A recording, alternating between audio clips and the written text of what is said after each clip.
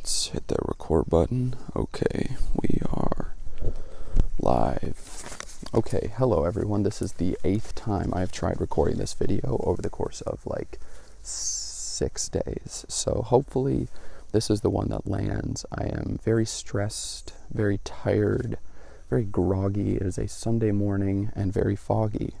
Groggy, foggy for my literary folks, my poets out there. Anyways, we're going to do this thing. We hope it goes well. I'm going to try and keep it short because I'm crunched for time trying to keep the YouTube schedule, trying to keep the algorithm happy. So, anyways, let's get into it. First and foremost, 200 subscribers. That feels incredible to me. Um, you know, it's been a year. It's taken a year to get here. It took us it took us eight months to get our first 100 subscribers, four months to get our second 100 subscribers. Um, so that it feels great. That's a big jump forward, and I, am just thrilled. And I hope that I can keep putting out content that is helpful or enjoyable or entertaining or whatever. I just want to, yeah, I just want to keep growing this thing. So if you have any suggestions, um, let me know in the comments, and you will get paragraphs in return, uh, or and or some video. I just hit myself in the face with this um, uh, and or shout outs in the videos. So I'm going to be talking about a couple of people later on, giving quick shout outs. Um, but anyways, what's the plan for the upcoming videos? Now that the thank yous are out of the way, um, what do we got? So the plan for the upcoming videos. So two weeks ago, I went to Washington Island. I'm in Wisconsin right now. That's where I'm living. No longer a grad student, working a 40 hour week, which I'll say more about in a second. But I went to Washington Island. If you go on Google Maps, look up Washington Island. It is what it sounds like. It is an island. Um, it's in uh, Lake Michigan, and uh, you got to take a ferry to get there. It's fun, and there was a literary festival there. So I was there, and I did a lecture on a beach, and I filmed the whole trip, and it ended up being like two hours worth of content that I have to go through, and I just had no idea how long that was going to take me to work through. I really hope that my head is still in this. The last time I recorded this, my head was not in it, and that would devastate me if that happened again. So hopefully, I'm in the shot. Um, whatever. It is what it is. We're going to keep going. So, what's the plan? So, I filmed the trip, and I, yeah, it's just taken me a long time to work through it and to do the edits that I usually do. And um, on top of that, I'm working 40 hours a week now, and that's rough. And I think that 40 hours a week is like the minimum. It's like the the some uh, you know uh, whenever the 40 hour work week was put into place, uh, I think it's kind of like it's like the the the the exact number of hours to where um, you don't feel like I don't know. A side hustle is just made nearly impossible. You kind of the forty hour work week kind of locks you into that job. So I'm trying to figure out how to navigate the channel on top of that because there's no way that I'm abandoning the channel at this point. So um, yeah, but I'll figure it out eventually. For now, I just have to film a shorter video that's hopefully helpful, and I can kind of explain my intentions with what's going on. I feel like I wanted this rollout for the the English class outside to be smoother, but it's not. But it will be at some point. Um, so, anyways, that's kind of what I'm going through now. The video is taking a very long time to record, uh, or a very long time to edit, and yeah, I just I'm struggling to keep the YouTube schedule. So slowly but surely we're making progress and we'll figure it out. But for now, this is kind of what I'm doing. I'm going to hype up what I'll be talking about in the video, this video that I'm that I'm mentioning where I gave that lecture on a beach on an island. Um, I'm talking about Stephen King's On Writing um, in that uh, video and uh, yeah, I love that book. And Stephen King says what writing is is telepathy. I think it's it is telepathy. I agree with him 100%. I also think it's a spiritual act, and so that's kind of what we're going to be talking about today. I'm going to be tying it to a comment that was left by a his his name is Richard, and I have omitted his last name. Um, so I want to shout out Richard, last name omitted, and also shout out Elon Mush uh, two guys who have been heavy in the comments as of late. So I appreciate you.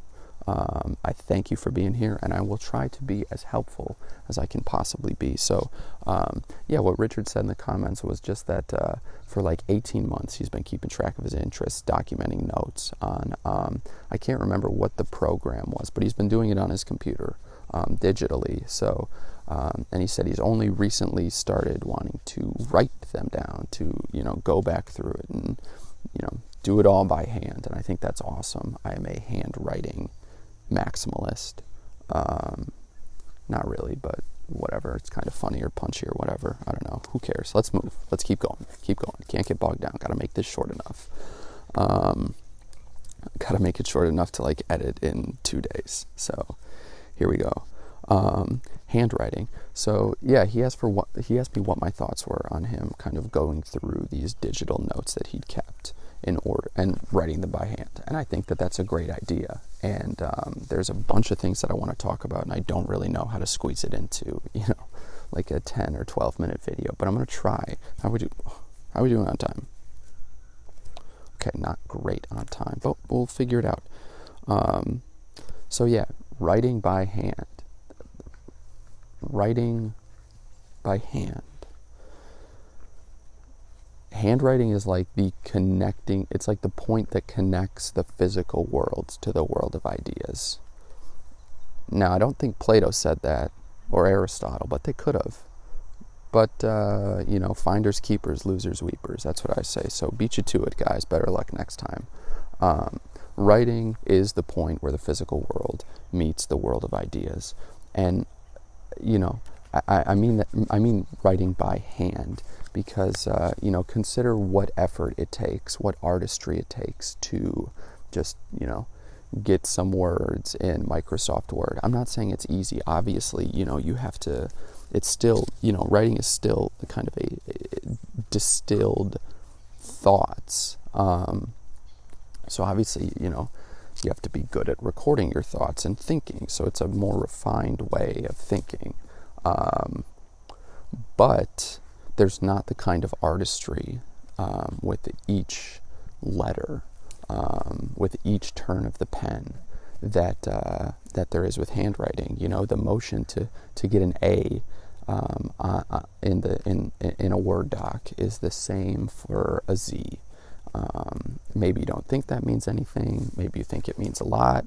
I personally think it means a lot. You know, the idea that um, you know there's you know there's there can be some sort of beauty to writing by hand. Um, you know, it's a, it's a way of almost getting more out of less. You know, it might take you a longer time. You might not make as much progress, you know, per minute as far as the number of words you get on the page. But I think you kind of, in the same way that spending more time um, reading, you know, being a slow reader can can help you uh, optimize for comprehension.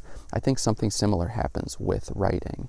Um, so to tie this back to to to Richard's comment, I think that you know when we write by hand, it's just another way of kind of digesting the thoughts that we have made conscious, that we have made physical. Um, so I'm all for it. And I want to make this point that I think everybody should keep a commonplace book. I'll talk about this in the future after next week's video. I'm going to start talking about Stephen King, or I'm sorry, about Walter Isaacson's biography, one of the chapters on Leonardo da Vinci, on Leonardo da Vinci's notebook. Notebooks. I'm struggling. A car just started over there, so obviously I'm worrying about the audio, the ramifications for the audio. But, anyways, we have to move on. We have to keep talking because I am pressed for time. So, anyways, um, yeah, everybody should keep a commonplace book. Leonardo has a commonplace, has the most famous commonplace books in human history. And uh, Walter Isaacson kind of broke them down in uh, the biography he wrote in one of the chapters, and that's what we're going to be talking about. But, you know, Richard made the point that he's got 18 months worth of notes and, and uh, you know, journal entries and this and that. Um, and that's an asset and i think people should understand their their their writings as assets you know there's there's you know you might not realize it now but i think over time whether it's 5 years or 10 years or in leonardo's case he would you know when he was however old he was 70 years old um, as he was you know toward the you know the closing years of his life, he would revisit his commonplace book entries from 50 years earlier. And you know, there's I think there's something beautiful about that because you know if you're entrepreneurially minded or artistically minded, you know, you can take advantage of thoughts that you've spent years growing with. That's a Proustian idea, right? It's the idea that, you know, to connect this to what writing is, to try to further hype up that that uh, that essay, you know. Um, it's telepathy. Writing is telepathy. It's a communication of the minds across time and space. Um, and that's interesting. It can be, you know, with you and you as far as, you know, reading your commonplace book entries from years ago. It can be with, you know, you and and uh, and Billy Shakespeare, you know, who who knows? It, but the point is it's a communication of the minds across time and space, and I think that's beautiful. Um, and so write by hand is my point. Consider the idea that, you know, when you write, it's a spiritual act. It's something that you know, there's an artistry to getting the letters on the page. It's not just, uh, you know, zeros and ones and, um, you know, the UI. So, yeah, just flush out as much meaning from the act as you can. And I think that's how you optimize it for, um, for, for value. And I think that's true for anything. So, Just heard something behind me. But, anyways, handwriting, spiritual act, you know, the meeting point between the physical world and the world of ideas. Um, so, yeah, I would just encourage you to write by hand. Try to make your handwriting as beautiful as possible because when you make your handwriting beautiful, you make your thoughts more beautiful in a very strange way. So, um, that's an argument for cursive. Um, I'm not really a big cursive guy myself. I just kind of do the, I don't know, like it's just a combination. I don't know, whatever. I'm not saying I have the most beautiful handwriting in the world, but I try to make it beautiful. Um, so yeah, try to make your handwriting beautiful. Get paper you like, get pens you like, and go crazy with them and do the thing. Um, yeah, I don't necessarily know how helpful this is, but I think, yeah, I just think you should write by hand. The dogs are starting to run around now, which is usually a good signal that it's time to go in because that's when uh, they're just about to crash.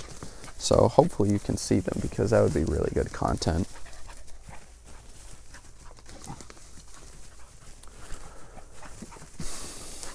I love these guys.